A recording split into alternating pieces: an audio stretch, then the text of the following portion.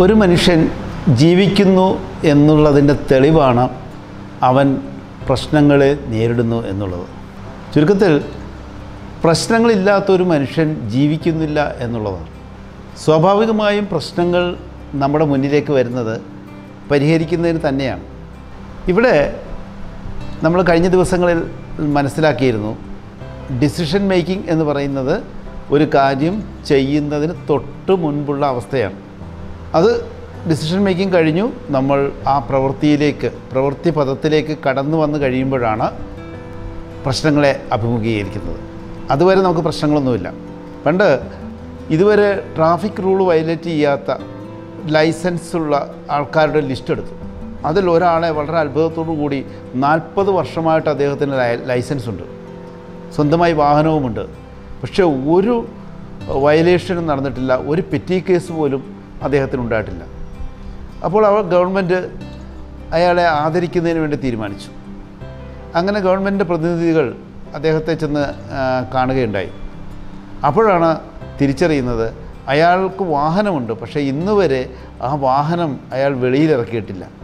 ഇവിടെ സൂചിപ്പിക്കുന്നത് ഇത്രയേ ഉള്ളൂ നമ്മൾ ജീവിതത്തിന്റെ പന്ഥാവിലേക്ക് ഇറങ്ങുമ്പോൾ അവിടെ നമുക്കായി നമ്മുടെ ജീവിതത്തെ ധന്യമാക്കുന്നതിന് വേണ്ടി നമ്മുടെ ജീവിതത്തെ സജീവമാക്കുന്നതിന് വേണ്ടി നമ്മുടെ ജീവിതത്തിന് ഊർജം നൽകുന്നതിന് ശരിക്കും പറഞ്ഞാൽ പ്രശ്നങ്ങൾ തന്നെയാണ്. ഇന്നത്തെ തലമുറയെ സംബന്ധിച്ച് പ്രശ്നമെന്ന് പറയുന്നത് ചിന്തിക്കാൻ പോലും പറ്റാത്ത കാര്യമാണ്. ഇപ്പോൾ നമ്മൾ സിനിമ കാണാൻ കയറാറുണ്ട്. ഒരു പ്രശ്നമില്ലാത്ത സിനിമയാണ് നമ്മൾ കാണുന്നതെങ്കിലും ഒരു വില്ലനില്ല എന്ന് വിചാരിക്കുക. ഒരു വില്ലനില്ലാത്ത സിനിമ. ഒന്ന് ആലോചിച്ച് നോക്കൂ. യാതൊരുവിധ സംഘർഷവുമില്ല. വളരെ സുഖകരമായി കഥ ആരംഭിച്ചു. ആഗ്രഹിച്ച പോലെ തന്നെ കഥ അവസാനിച്ചു. നമ്മൾ ആ സിനിമ ഇഷ്ടപ്പെടില്ല. ഇതുപോലെ തന്നെയാണ് നമ്മുടെ ജീവിതവും സജീവമാകുന്നത്. ജീവിതത്തിൽ വില്ലനായി കടന്നു വരുന്ന പ്രശ്നങ്ങൾ തന്നെയാണ്. ഈ പ്രശ്നപരിഹാരം എന്ന് പറയുന്നത് പ്രശ്നം ഒരിക്കലും ഒറ്റയ്ക്ക് എങ്ങും പോകാറില്ല. എല്ലായ്പ്പോഴും പരിഹാരവും കൂടുതലുണ്ട്. ഞങ്ങൾക്ക് ഈ കൗൺസിലിങ്ങിൽ വരുമ്പോൾ ആൾക്കാർ പ്രശ്നത്തിൽ അകപ്പെട്ടിട്ടാണ് വരുന്നത്. പക്ഷേ കൗൺസിലിങ്ങിന്റെ ഒരു ഘട്ടം കഴിയുമ്പോഴത്തേക്കും ഞങ്ങൾ ചെയ്യാറുള്ളത് പരിഹാരം അതിന്റെ സാധ്യതകൾ അതിനെ പതുക്കെ വെളിയിലേക്ക് കൊണ്ടുവന്ന് ആ പരിഹാരത്തെ നമ്മളൊന്ന് വലുതാക്കി വലുതാക്കി കാണുമ്പോഴത്തേക്കും സ്വാഭാവികമായും പ്രശ്നം അവിടെ ചെറുതായി നിൽക്കുന്നത് കാണാനായിട്ട് കഴിയും. അപ്പോൾ തന്നെ ഈ ക്ലയൻസിന്റെയൊക്കെ മുഖത്ത് വല്ലാത്തൊരു ആശ്വാസം തോന്നാറുണ്ട്. പരിഹാരമില്ലാത്ത പ്രശ്നമില്ല എന്നുള്ളതാണ് ചുരുക്കം. ഏതൊരു പ്രശ്നത്തിന് പിന്നിലും അതിന്റെ ഒരു പരിഹാരമുണ്ട്. സാധാരണ പറയാറുള്ള ഉദാഹരണമാണ് താക്കോലില്ലാത്ത താഴില്ല എന്ന് പറയുന്നത് പോലെ തന്നെയാണ്. പക്ഷേ ഈ പരിഹാരത്തെ ശ്രദ്ധിക്കുന്ന അല്ലെങ്കിൽ പരിഹാരത്തെ വിലയിരുത്തുന്നതിനും പരിഹാരത്തിലേക്ക് എത്തുന്നതിനും പ്രത്യേകമായ സ്കില്ല് തന്നെ വേണം. അത് ചുരുക്കത്തിൽ അത് ജീവിത പാഠങ്ങളിലൂടെയാണ് പഠിക്കുന്നത്. അനുഭവ പാഠങ്ങളിലൂടെയാണ് പഠിക്കുന്നത്. രണ്ട് തരം പഠനങ്ങൾ നമ്മൾ നടക്കുന്നുണ്ട്. യൂണിവേഴ്സിറ്റി സ്റ്റഡിയും യൂണിവേഴ്സൽ സ്റ്റഡിയും എന്ന് നമ്മൾ പറയാറുണ്ട്. അതിൽ യൂണിവേഴ്സൽ സ്റ്റഡിയാണ് ജീവിത വിജയത്തിനും അവന്റെ ജീവിതത്തിൽ നിത്യമായി അനുദിനം കടന്നു വരുന്ന പ്രശ്നങ്ങളെ പരിഹരിച്ച് മുന്നോട്ട് പോകുമ്പോൾ കിട്ടുന്നൊരു വിദ്യാഭ്യാസം. അതുകൊണ്ടാണ് വലിയ ഉന്നത വിദ്യാഭ്യാസമുള്ള ആൾക്കാർ പോലും ജീവിതത്തിന് മുന്നിൽ പകച്ചു നിൽക്കുകയും ചിലപ്പോൾ അവർ ആത്മഹത്യയിലേക്കും എല്ലാം പോകുന്നത് നമുക്ക് കാണാൻ കഴിയും. പുതിയ തലമുറയെ സംബന്ധിച്ച് ഈ പ്രശ്നത്തെ അഭിമുഖീകരിക്കുവാനുള്ള ശേഷി വളരെ കുറവാണെന്ന് നമുക്ക് കാണാനായിട്ട് കഴിയും. കാരണം ചെറിയ പ്രായത്തിൽ തന്നെ അവരെ സംബന്ധിച്ച് അവരുടെ ജീവിതവുമായി ബന്ധപ്പെട്ടുള്ള കാര്യങ്ങളിലൊന്നും തന്നെ ബന്ധപ്പെടുത്താതെ മക്കളെ പഠിത്തം എന്ന് പറയുന്ന ഒറ്റ അതായത് യൂണിവേഴ്സിറ്റി സ്റ്റഡിയിലേക്ക് മാത്രം ഫോക്കസ് ചെയ്യുന്നത് കൊണ്ട് സംഭവിക്കുന്നതാണ്. ഒരുപക്ഷെ ലോകാരോഗ്യ സംഘടന പത്ത് സ്കില്ലിൽ ആറാമത്തെ സ്കില്ലായിട്ട് ഈ സ്കില്ലിനെ അതായത് പ്രോബ്ലം സോൾവിങ് എന്ന് പറയുന്ന ഈ സ്കില്ലിനെ പരിചയപ്പെടുത്തുന്നതും അത് വ്യക്തിത്വ വികസനത്തിന് മാനസിക ആരോഗ്യത്തിന്റെ വാക്സിനേഷനിൽ ഒന്നായി കാണുന്നതും അതുകൊണ്ടാവാം. സാധാരണ മനുഷ്യരെ സംബന്ധിച്ച് ഒരുപാട് പ്രശ്നങ്ങൾ അവൻ അഭിമുഖീകരിക്കേണ്ടി വരാറുണ്ട്. ഈ ഓരോ പ്രശ്നത്തെ ചിലർ ഒരു ഒരു പ്രശ്നത്തെ കാണുന്നത് വലിയ ഒരു സംഭവമായി എടുക്കാറുണ്ട്. അതിനനുസരിച്ച് വളരെ ആ ആൾ കിടന്ന് ആ പ്രശ്നത്തിൽ കിടന്ന് വല്ലാത്ത അസ്വസ്ഥത അനുഭവിക്കുന്നതാണ്. എന്നാൽ ചില ആൾക്കാർ വലിയ പ്രശ്നത്തെ പോലും തന്റെ മുന്നിലിരിക്കുന്ന വലിയ പ്രശ്നങ്ങളെ പോലും വളരെ ചെറുതായി വളരെ ലാഘവത്തോടു കൂടിയാണ് കാണുന്നത്. ഇത് രണ്ടും അവരവരുടെ അനുഭവ പശ്ചാത്തലത്തിൽ നിന്നും ആണ് ഇത് എടുക്കുന്നത്. സാധാരണ ഞങ്ങൾക്ക് കൗൺസിലിങ്ങിന് ഇപ്പോൾ വരുന്ന ഒരു കേസാണ് വീട്ടുകാർ പ്രത്യേകിച്ച് ഹസ്ബൻഡ് അറിയാതെ സാമ്പത്തിക കുരുക്കിൽ വിട്ടുപോകുന്ന ഒരുപാട് വീട്ടമ്മമാരുണ്ട്. ഈ വീട്ടമ്മമാർക്ക് ഇതിനകത്തുനിന്ന് എങ്ങനെ കരകയറണമെന്നറിയാതെ വീണ്ടും വീണ്ടും സാമ്പത്തിക കുരുക്കിലേക്ക് പെട്ടുപോകാറുണ്ട്. ഒടുവിൽ അവരുടെ ദാമ്പത്യ ജീവിതവും കുടുംബജീവിതവും എല്ലാം തകരാറിലാവുമ്പോഴാണ് മിക്കവാറും കൗൺസിലിങ്ങിൽ എത്തുന്നത്. ഇവിടെ സംഭവിക്കുന്നത് ആ പ്രശ്നത്തെ വേണ്ട രീതിയിൽ ഷെയർ ചെയ്യുവാൻ കഴിയാത്തത് കൊണ്ട് സംഭവിക്കുന്നത്. കുടുംബങ്ങളിൽ നമ്മളൊരു പ്രശ്നമുണ്ടായി കഴിഞ്ഞിട്ടുണ്ടെങ്കിൽ ഉടനെ തന്നെ അത് കുടുംബത്തിൽ എല്ലാവരും അറിയേണ്ടത് വളരെ അത്യാവശ്യമാണ്. അങ്ങനെ ഒരാൾ മനസ്സിൽ വെച്ചുകൊണ്ട് ആ പ്രശ്നം പരിഹരിക്കുന്നതിന് വേണ്ടിയുള്ള ശ്രമം നടത്തുമ്പോൾ അത് കുരുക്കിലാകപ്പെട്ട് കഴിയുമ്പോൾ ആ പ്രശ്നം മറ്റുള്ളവർ പറഞ്ഞ് അറിയുമ്പോൾ സംഭവിക്കുന്നത് അത് കുറ്റപ്പെടുത്തലിലേക്ക് പോകും.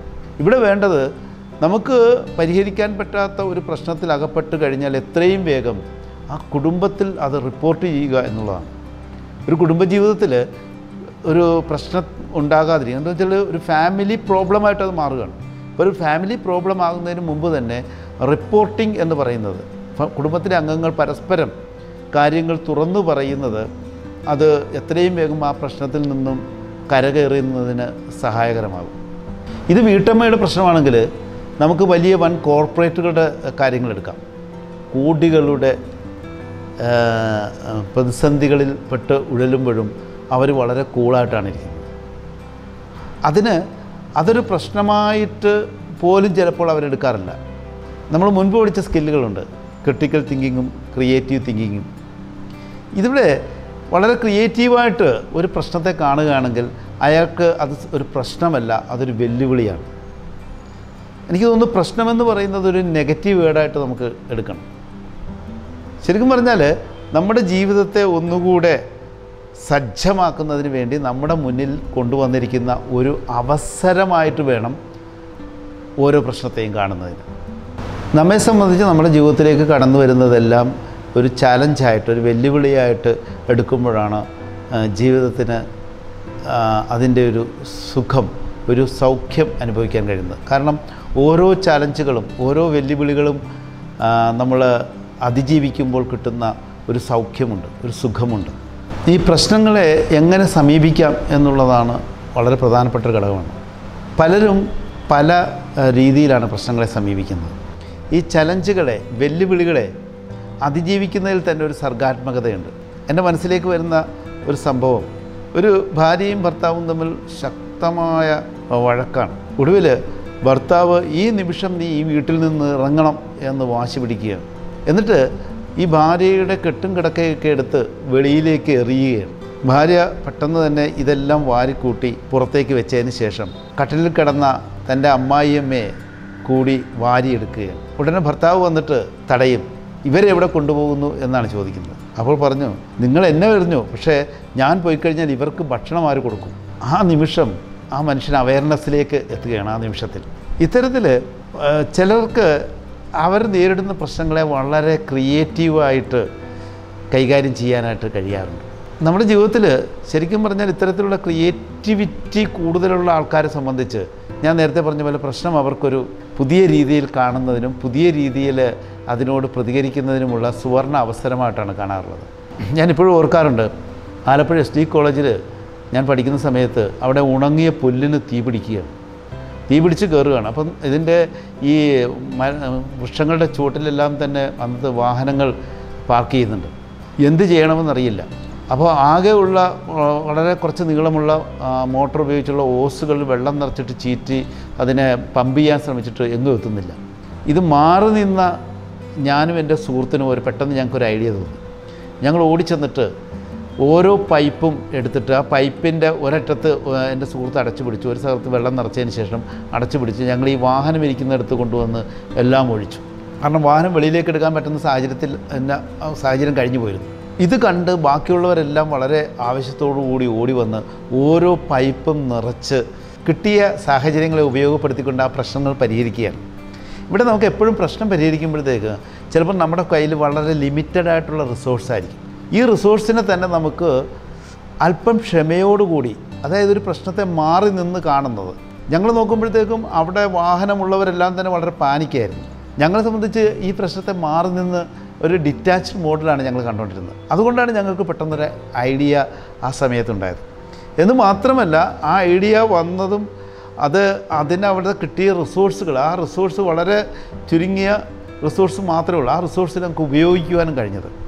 ഒരു പ്രശ്നത്തെ അതിജീവിക്കുന്നതിന് ഡിറ്റാച്ച്ഡ് ആയിട്ട് ആ പ്രശ്നത്തെ സമീപിക്കുന്നത് നന്നായിരിക്കുമെന്ന് തോന്നുന്നു. പക്ഷേ ആ പ്രശ്നത്തിൽ കിടക്കുന്ന ഒരാളെ സംബന്ധിച്ച് ഒരിക്കലും അതിനെ ഡിറ്റാച്ച്ഡ് ആയിട്ട് കാണാൻ പറ്റില്ല. അത് നമ്മൾ മനസ്സിലാക്കണം. ഇവിടെയാണ് ഒരു കൗൺസിലറുടെ അല്ലെങ്കിൽ അനുഭവ സമ്പന്നരായ ഒരാളുടെ സഹായം ഇവിടെ ഉപയോഗപ്പെടുന്നത്. ഒരു മനോഹരമായ ഒരു കാര്യമെന്ന് പറയുന്നത് ഏതൊരു പ്രശ്നത്തിനും ഒരുപാട് തലങ്ങളുണ്ട്. ഈ തലങ്ങൾ കാണുന്നത് ഈ പ്രശ്നവുമായി ബന്ധപ്പെടാതെ ഡിറ്റാച്ച്ഡായിട്ട് നിൽക്കുന്നവർക്ക് മാത്രമേ തലങ്ങൾ കാണാനായിട്ട് പറ്റത്തുള്ളൂ. ഇന്ന് നമ്മളിപ്പോൾ ചെയ്യുന്നതെന്ന് പറഞ്ഞാൽ ഉടനെ തന്നെ നമ്മൾ ഈ ഗൂഗിളിൽ തപ്പുക ഉടനെ തന്നെ പ്രശ്ന പരിഹാരത്തിന് ശ്രമിക്കുക. അതൊക്കെ തന്നെ ഒരുപാട് കൂടുതൽ കുഴപ്പങ്ങളിലേക്ക് ചാടുന്ന അവസ്ഥയിൽ നമ്മൾ കാണാറുണ്ട്. ഭാര്യ ഒന്ന് കല്യാണം കഴിഞ്ഞ് ആദ്യ ആഴ്ച ആദ്യ രണ്ട് ദിവസങ്ങൾ ദേഷ്യം പിടിച്ചു. ഉടനെ ദേഷ്യം പിടിക്കുന്നതിന്റെ കാരണം എന്തെന്നറിയാനായിട്ട് ഗൂഗിളിൽ തപ്പി. ഗൂഗിളിൽ തപ്പിയപ്പോഴത്തേക്കും ഈ ആളിന്റെ രോഗം ഇന്നതിന്നതാണ് എന്ന് ഗൂഗിളിൽ നിന്നും കിട്ടി. പിന്നീട് ആരെല്ലാം എന്തെല്ലാം ഈ മേഖലയിലെ അതിവിദഗ്ധരായ ഡോക്ടർമാർ എല്ലാം ഈ ആളിനെ പറഞ്ഞ് മനസ്സിലാക്കിയിട്ടും അദ്ദേഹം സമ്മതിച്ചില്ല. അദ്ദേഹം ഒരു ഡോക്ടറിൽ നിന്നും വേറെ ഡോക്ടറിലേക്ക് വേറെ ഡോക്ടറിലേക്ക് ഇപ്പോഴും പോയിക്കൊണ്ടിരിക്കുകയാണ്. തന്റെ ഭാര്യയുടെ രോഗം ഇതാണ്. ഈ രോഗം മാറ്റിയാൽ മാത്രമേ ഞാൻ അവരുമായി കഴിയുകയുള്ളൂ. ഇതാണ് വേറൊരവസ്ഥ. ഈ പ്രശ്നപരിഹാരത്തിന് ഏറ്റവും പ്രധാനപ്പെട്ട വേണ്ടത് പ്രശ്നത്തെ മാറി നിന്ന് സമീപിക്കുന്ന കാര്യം ഞാൻ പറഞ്ഞു. അപ്പോൾ അങ്ങനെ മാറി നിന്ന് കാണുമ്പോൾ മാത്രമേ അതിന്റെ എല്ലാ സാധ്യതകളും നമുക്ക് കാണാനായിട്ട് കഴിയുള്ളൂ. ഒരു പ്രശ്നത്തിന്റെ എല്ലാ സാധ്യതകളുടെയും ഡാറ്റ നമ്മുടെ കയ്യിലുണ്ടെങ്കിൽ അത് വളരെ എളുപ്പത്തിൽ നമുക്ക് പ്രശ്നത്തെ പരിഹരിക്കുന്നതിന് സഹായിക്കും. അതിനോടൊപ്പം തന്നെ ഇത്തരം സമാനമായ പ്രശ്നങ്ങളെ അഭിമുഖീകരിക്കുകയും അതിൽ ചിലപ്പോൾ പരാജയപ്പെട്ട് കാണും അല്ലെങ്കിൽ വിജയിച്ചു കാണും.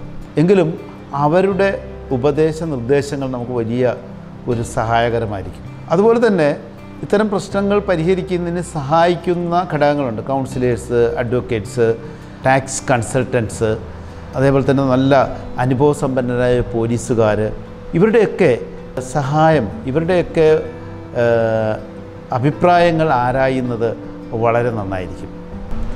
നമ്മൾ സ്കില്ലന്മാരെ സംബന്ധിച്ച് നമ്മളെപ്പോഴും പ്രശ്നം എന്ന് പറയുന്നത് ഇനി മുതൽ നമുക്ക് അത് നമ്മളെ ശാക്തീകരിക്കുന്നതിനുള്ള ഒരു അനുഗ്രഹമായിട്ട് വേണം നമുക്കതിനെ കാണാനായിട്ട്. നമുക്ക് ട്രാൻസാക്ഷൻ അനാലിസിസിന്റെ സാങ്കേതിക പദം ഉപയോഗിക്കുകയാണെങ്കിൽ അഡൽറ്റിൽ നിന്നുകൊണ്ട് കാണുക എന്നുള്ളതാണ്. ഒരു വിഷയത്തെ പക്വഭാവത്തിൽ നിന്നുകൊണ്ട് സമീപിക്കുമ്പോൾ നമുക്ക് ആ പ്രശ്നത്തിന് പരിഹാരം കാണാനായിട്ട് കഴിയും എന്നുള്ളതാണ് വാസ്തവം. ചുരുക്കത്തിൽ ജീവിതം എന്ന് പറയുന്നത് പ്രശ്ന സങ്കീർണമാണ്.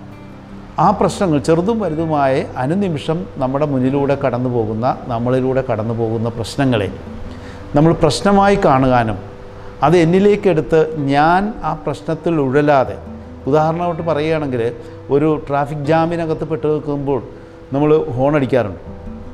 അല്ലേ? നമ്മൾ നമ്മൾ ദേഷ്യപ്പെടാറുണ്ട്. സത്യത്തിൽ അതൊരു പ്രശ്നത്തിനകത്ത് കിടക്കുകയാണ് നമ്മൾ ആ ട്രാഫിക് ജാമിൽ പെടാതെ മാറി നിന്ന് ഒരു ഉയർന്ന തലത്തിൽ നിന്ന് അല്ലെങ്കിൽ ഒരു ട്രാഫിക്കുകൾ ഇരിക്കുന്ന ട്രാഫിക് പോലീസുകാർ ഇരിക്കുന്ന ആ ഉയർന്ന ചേമ്പറുണ്ട് അവിടെ നിന്ന് കാണുന്ന ഒരു ട്രാഫിക്കിനെ സംബന്ധിച്ച് അവിടെ ഒരു പ്രശ്നമില്ല. അവിടെ ഒരു ചെറിയ തടസ്സം മാത്രമേ ഉള്ളൂ. ആ ഒരു വാഹനം മാറ്റുമ്പോഴത്തേക്ക് ആ പ്രശ്നം പരിഹരിക്കും. എന്ന് പറഞ്ഞതുപോലെ നമ്മുടെ ജീവിതത്തിൽ നമ്മൾ പ്രശ്നത്തിനകത്ത് നിന്നും വെളിയിൽ വരിക എന്നുള്ളതാണ് ഒന്നാമത്തെ സ്റ്റെപ്പ്. രണ്ടാമത്തെ സ്റ്റെപ്പ് എന്ന് പറഞ്ഞാൽ അതിനെ ഒരു വിഹക വീക്ഷണം അതായത് ഒരു സമഗ്രമായ ഒരു കാഴ്ചപ്പാട് ഉണ്ടാകുക എന്നുള്ളതാണ്. മൂന്നാമത് അതിന്റെ എല്ലാ സാധ്യതകളും ആരായുക എന്നുള്ളതാണ്. എന്നതിന് ശേഷം വീണ്ടും ആ ഒരു തീരുമാനത്തിലെത്തുകയും വീണ്ടും പ്രവൃത്തിപഥത്തിലേക്ക് കൊണ്ടുവരിക? അപ്പോൾ സ്വാഭാവികമായും പുതിയ പ്രശ്നങ്ങളിലേക്ക് നമുക്ക് കടക്കാം. പ്രശ്നപരിഹാരം എന്ന് പറയുന്നത് ഇവിടെ തീരുന്ന ഒരു വിഷയമല്ല. അതൊരു പുതിയ പ്രശ്നത്തിലേക്കാണ് നമ്മളെ നയിക്കുന്നത്. അപ്പോൾ നമ്മൾ സ്കി- സ്കില്ലന്മാർ ചെയ്യേണ്ടത് ഇന്ന് തന്നെ എന്റെ ജീവിതത്തിൽ ഞാൻ മനോഹരമായി അല്ലെങ്കിൽ എല്ലാ സാധ്യതകളും ഉപയോഗിച്ച് പരിഹരിക്കപ്പെട്ട ഒരു പ്രശ്നം. അത് നിങ്ങളുടെ ലിവിങ് ജേർണലിൽ എഴുതി വെക്കുക. എന്നിട്ട് അവരവർ അവരവരുടെ ക്ലാസ് റൂമിലൊന്ന് പോസ്റ്റ് ചെയ്യുക. ബാക്കിയുള്ളവർക്കും അതൊരു ഉത്തേജകമായിരിക്കും. എങ്ങനെയാണ് പ്രശ്നം പരിഹരിക്കേണ്ടത് എന്നുള്ളത് നമുക്ക് അടുത്ത ദിവസം അടുത്ത സ്കില്ലുമായി പരിചയപ്പെടാം. നന്ദി നമസ്കാരം.